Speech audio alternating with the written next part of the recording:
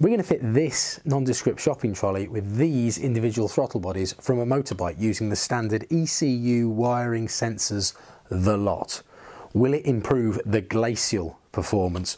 Will these make the lovely brap brap brap noise? Will it even work? Will I ever stop asking rhetorical questions and just get on with the video? Yes, yes I will.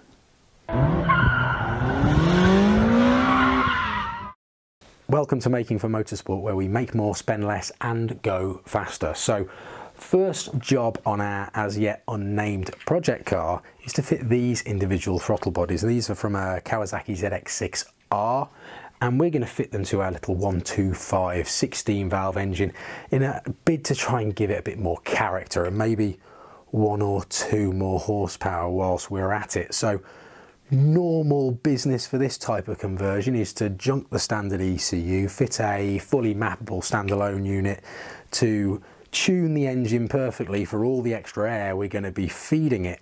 Now that can be quite daunting and expensive because you've got to take a lot of the wiring apart, you've got to change a lot of the connections. Potentially, you've got to ruin what you've already got. But is there a way that we can just fit these and fool the ECU and the engine into thinking that it's actually running on fairly standard kit, but it's actually breathing through a set of these and just getting a little bit more air? And will that give us any extra power and any extra performance? Well, we're going to get stuck in and we're going to find out. But to start off, we need to take this whole side of the engine to bits and work out how it does what it does. And to do that, we need a montage. Hit the music.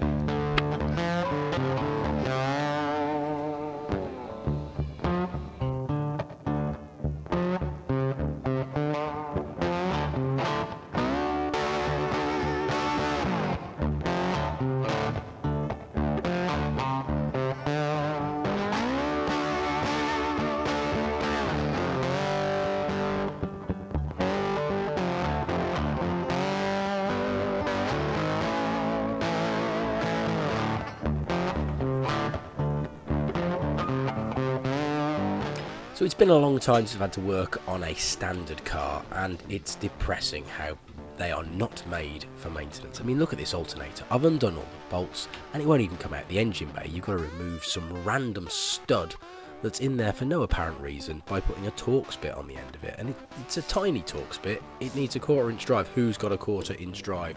Ratchet will tell you what, children, and as it turns out, my friend and next door neighbour Tom, because I gave him for Christmas.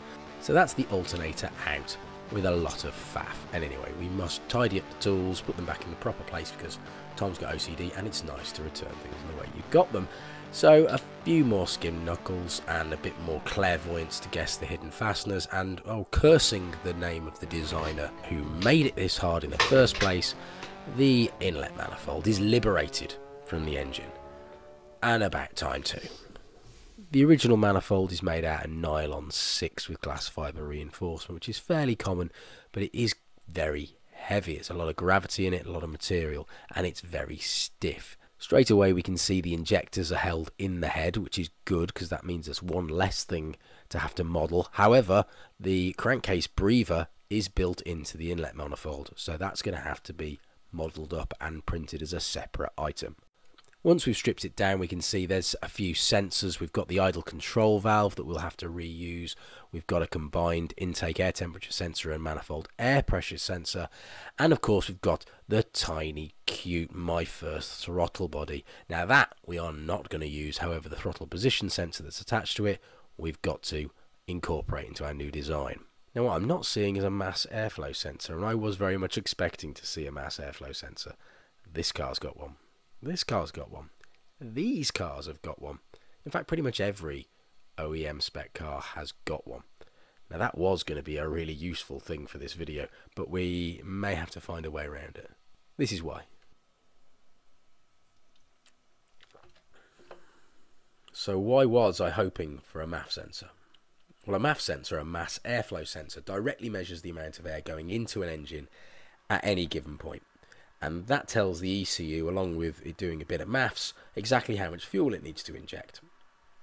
Now that's really handy because if you increase the amount of air going into the engine, as long as you don't top out the sensor range or the injector flow rates, it'll just inject more fuel. Everyone's happy. Now, this engine uses a manifold absolute pressure sensor and intake air temperature sensor to achieve the same goals, but it's not measuring directly the amount of air going in. Instead, it's got a reference table that it looks up against for any engine speed and any air pressure, how much air is going into the engine, and therefore how much fuel it needs to inject. And that's called speed density. It's absolutely fine. A lot of aftermarket ECUs use it. The Speeduino uses it. And it's wonderful as long as you don't change anything, because that table is written specifically for that type of engine. But junking the entire inlet system and putting individual throttle bodies on it, well, yeah, that might be a bit of a change. So, will the existing map need completely changing? Probably. Can I change it? Nope. Are we going to have to do something about it? Maybe. But we've come too far now, boys, so we're going to have to press on and just see what comes of it. I've got a couple of little tricks up my sleeve. So before we go too much longer with this episode, I want to nail down the name. So last time out, I asked you this. So if you guys can come up with a better name for this little project, then please put it in the comments down below. I'd love to hear it. And you guys did not disappoint. So I'll put a few up on the screen over here, but honourable mentions go to the No Go Kart, Fiesta McFiesta Face, Project Poopy, Ford Fiasco, Ford Caca, and uh, I particularly like uh, Project Cute Underrated Nice Toy, which is probably a bit long, so it would need to be abbreviated to ah, yeah, maybe not. So we're going to play it a bit safer with Project Siesta because at the moment the car is slow enough to put you to sleep. Let's see if we can change that. So, first step, let's start designing the inlet manifold to fit these throttle bodies. So in order to get an idea of where we're actually going to put these in relation to the engine, we've put the alternator back on because it's a big hulk and it's right in the way of cylinder one. So if we just offer them up in the general area, there's no chance of getting it, getting the throttle bodies in the middle of all four cylinders. So it's going to have to be off to an edge.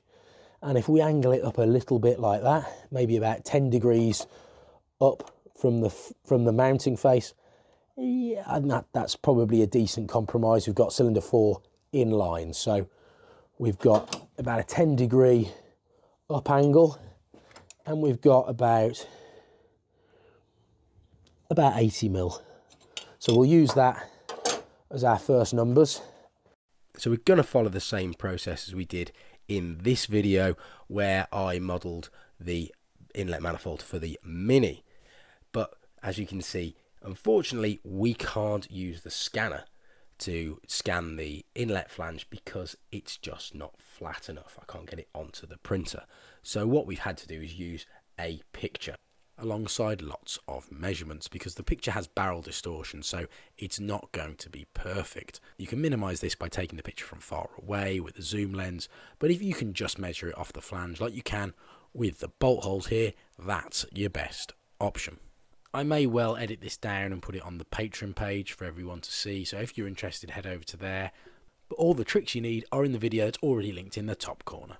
So once we're generally happy with the model, we print off just a thin section of the flange and offer it up to the engine. So you can see here, I've tried that and there's a few mods we need to do and there's a little lip on the port there. Oh, yes, mm, that's a problem. So we get a bit busy with the hacksaw, do a bit more marking up and a presto, we've got a, an updated design so we can print out a trial half.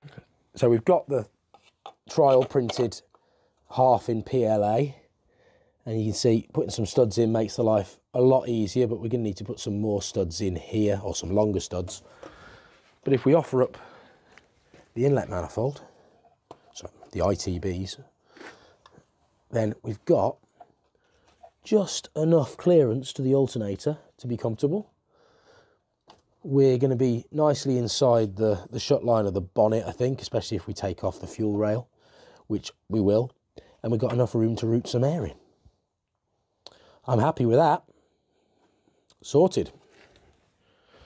we're about halfway through, so we can leave it there for this episode. But there's plenty to do next time. We've got to integrate all of the sensors into the manifold and the throttle bodies. We've got to print everything out. We've got to bolt it together, and along with one or two other jobs, before we can even take it out and see if it's going to work, see what the ECU does.